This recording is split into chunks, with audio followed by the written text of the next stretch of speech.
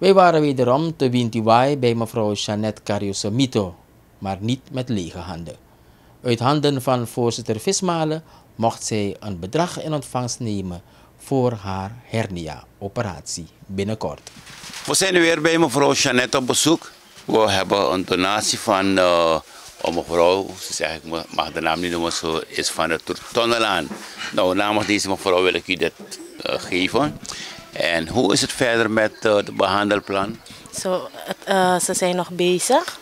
Ze hebben, ze hebben me weer laten foto laten maken. En uh, dan 24 pas kan ik wel, moet ik weer teruggaan.